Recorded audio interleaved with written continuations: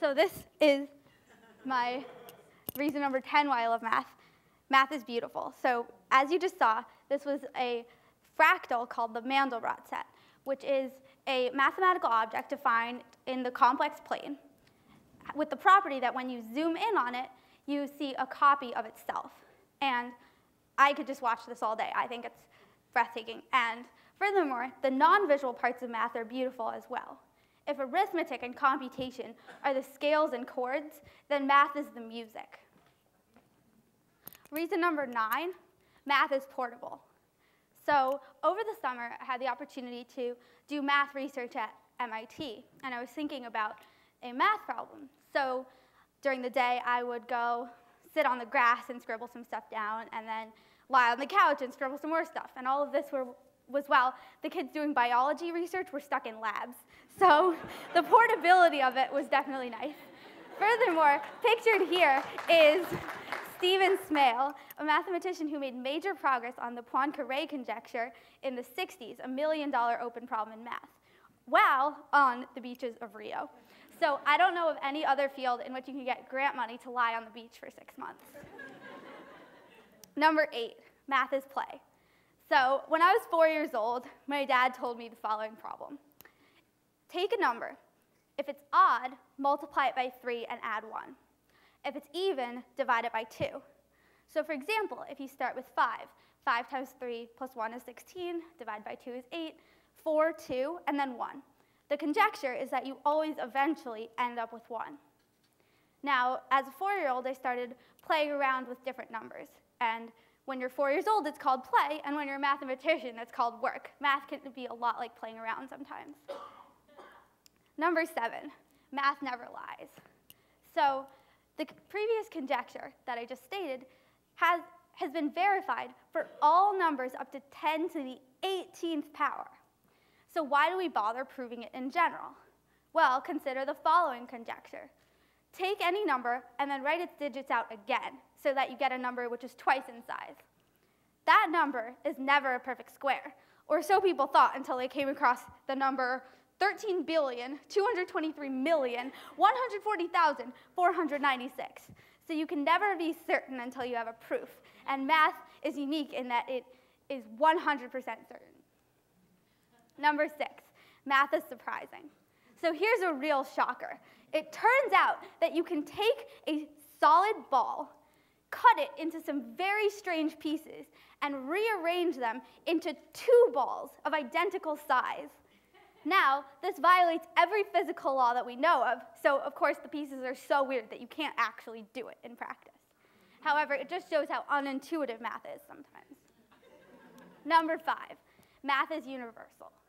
So the mathematician G.H. Hardy said the following quote 317 is a prime, not because we think it is so, or because our minds are shaped in one way rather than another, but because it is, because mathematical reality is built that way.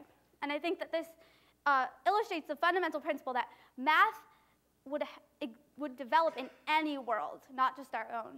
And so, um, not only does math transcend cultures, but um, the Arecibo message was a message sent uh, into the cosmos in order to, uh, with the goal of eventually maybe uh, identifying extraterrestrial life. And the idea was that uh, extraterrestrials would be able to decipher it because they would, too would know about prime numbers. And so, furthermore, perhaps Dr. Garrison could suggest that um, prime numbers could be used to uh, encode a message nuclear waste, beware. So, Number four, the math community. This is a picture of me at Canada USA Math Camp, where I spent a few summers, and I really loved the uh, community at Math Camp, and it was very welcoming and non-competitive, and I think that the academic world of math is similar.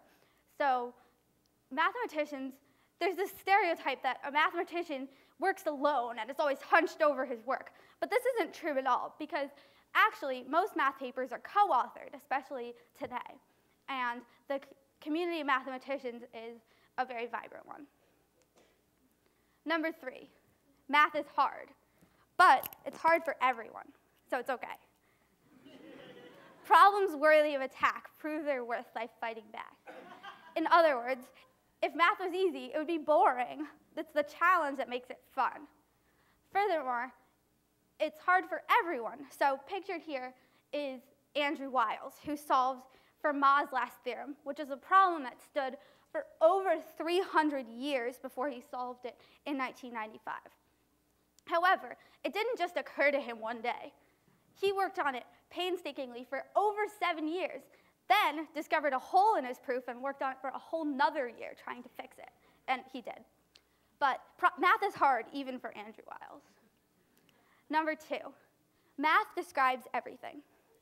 Math is unreasonably useful in terms of explaining things in our physical world because it's independent of our world. Why is it that it, it comes in handy so much? Well, I don't know the answer to that, but math does have applications in physics, biology, computer science, and even economics. In physics, non-Euclidean geometry turns out to be useful. Now, the kind of geometry that you learn in high school is Euclidean geometry, and that describes our physical space. In the 1800s, some mathematicians said, what if you just discount this assumption? What happens then? And so you end up with this new space in which, for example, the angles of a triangle no longer add up to 180 degrees. And this is non-Euclidean geometry.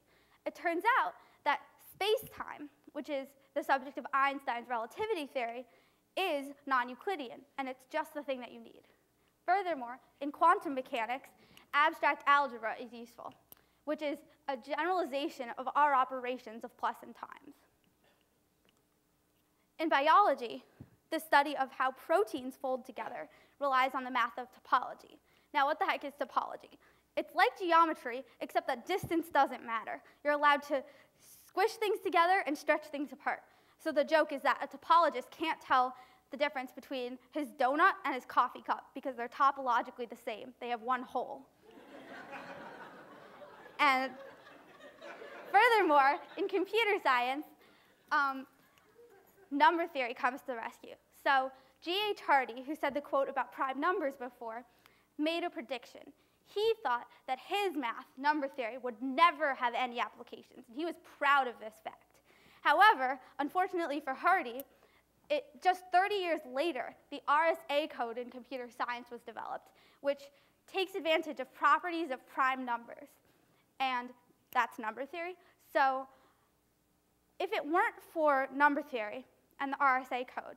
We wouldn't be able to buy anything online or do any sort of online banking because the internet would not be secure. Lastly, in economics, the Nash equilibrium, developed by John Nash, the subject of A Beautiful Mind, is very good at describing certain situations. And this is interesting because economics involves human behavior, and you wouldn't necessarily expect that. And lastly, my number one reason why I love math is that math can be passed on. So Isaac Asimov said, there's a single light of science, and to brighten it everywhere, anywhere is to brighten it everywhere. So I like to think about the law of exponential growth. So if I tell something to five people, and each of those people tell it to five more people, etc., then pretty soon, by exponential growth, the whole world will be clamoring about math. Thank you.